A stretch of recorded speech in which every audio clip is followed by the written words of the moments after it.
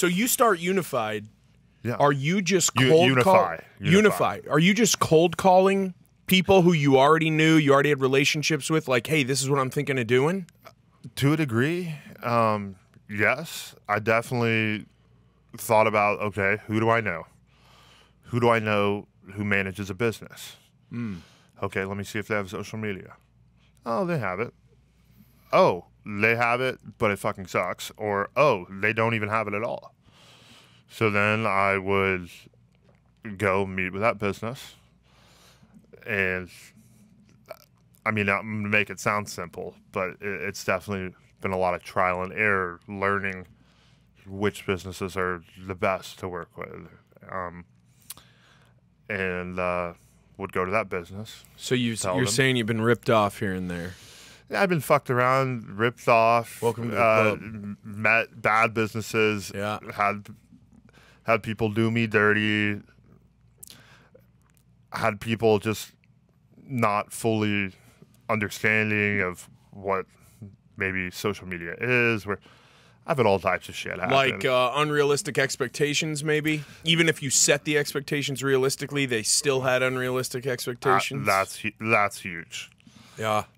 Do you think that the that the car salesman thing helped you in terms of closing deals with some of these new clients when you started Oh, yeah. Unify? Yeah, definitely. Um, definitely the car sales helped. It helps me be really comfortable with making large large transactions And being uncomfortable. yeah right yeah it can be just as uncomfortable um, the sales aspect i mean especially in 2017 a huge thing was business owners didn't understand social media so my first aspect was i needed for them to fully understand what social media was why you need it why it's so important and this is how I can help you with your social media.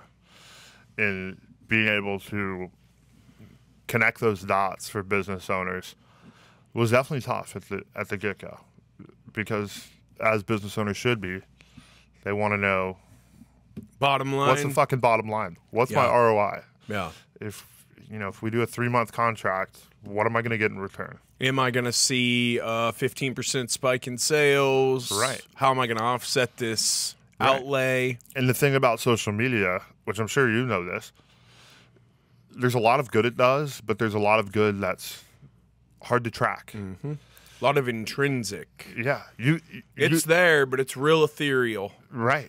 Like you know there's a groundswell building, but you can't really measure it. Right. It's like Yeah. uh, one comparison I use is kind of like having a billboard on the side of the highway. Yeah. Like it's it's going to make an impact. It's going to be seen by a lot of people, Mm-hmm. and it's good that it's doing that. But you don't know. Someone could look at that. Someone could look at Jess Marshall podcast on a on a big ass billboard, Right. Which would be sick. It would. And people, My head's big enough, it would fill the billboard. so I'd be good to go. Yours is too, man. fucking love it. Oh fuck yeah!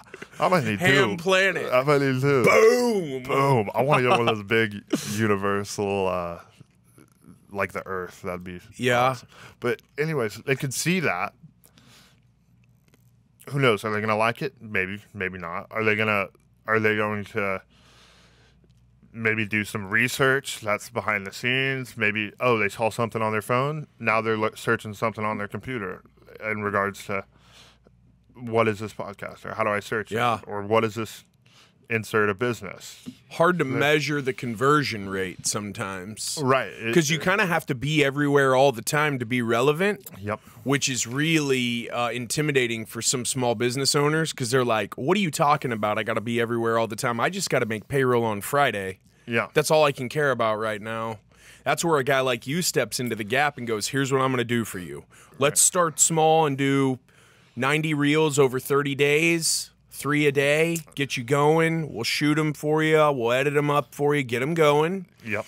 and then let's start to see what that start to is that kind of how you ease people into because a lot of people probably have a hard time making that investment to start with Yeah. Well, especially so when I first started uh, doing Unify full time, reels weren't even a thing. I mean, they've they've taken over, and they're, as you you know, it's it is the thing. It's if the you currency. don't have reels, you're not standing out. Nope. Whether you like it or not, whether you don't want to give in to the fucking tiki talk theme, Tiki talk. reels are here. Reels are part of our modern world. They ain't going nowhere. They ain't going nowhere. Nope. And get a little creative. Fucking post a reel. No doubt. Why man. not? Um, so uh, when I started, we didn't have reels. We had uh, it was just posts, and you could still comment and like. Um, a big part of my business was well, this kind of came as I continued to learn and continued to think about okay, how can I validate this on the bottom line? Uh, a big thing was direct messaging. I mean, that would Okay. be that would be Like one prospecting- Of my, one of my pitches. You would. You would. Uh, We're going to send X amount of direct On your behalf. and we're gonna ta- we're gonna. It's gonna be me typing them. Right. And I'm gonna make sure I know you. I know what you like. I know your voice. I know your voice. Know your business. So I'm gonna you're- connect. You're you're uh, prospecting on their behalf through DM. That's what I. That's how it kind of started. That's when I started getting some steam. Apple, if you want one. I appreciate it, brother. Um, Here to help. I fucking love it. Here to help mentality.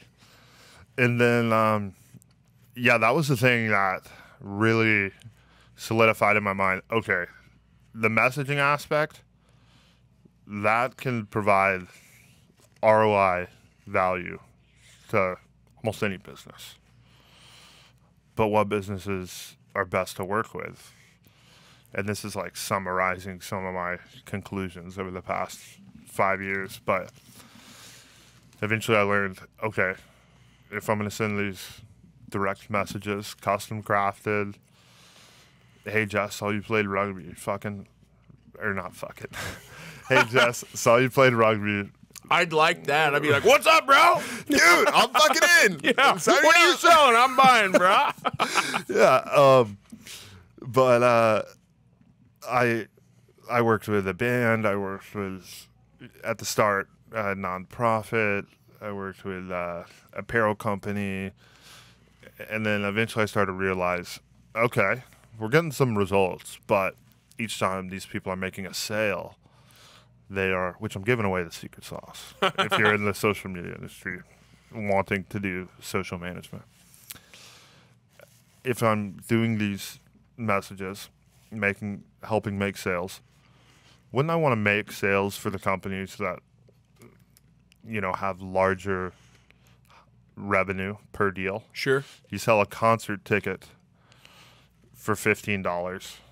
You sell a fucking car, a roof, thousands of dollars. Exactly. You sell a new smile, thousands of dollars. Yes. Thousands of dollars in lifetime value from that patient. So I, I decided, okay, I'm going to focus on higher ticket businesses, and I'm going to partner with them and just be a team player.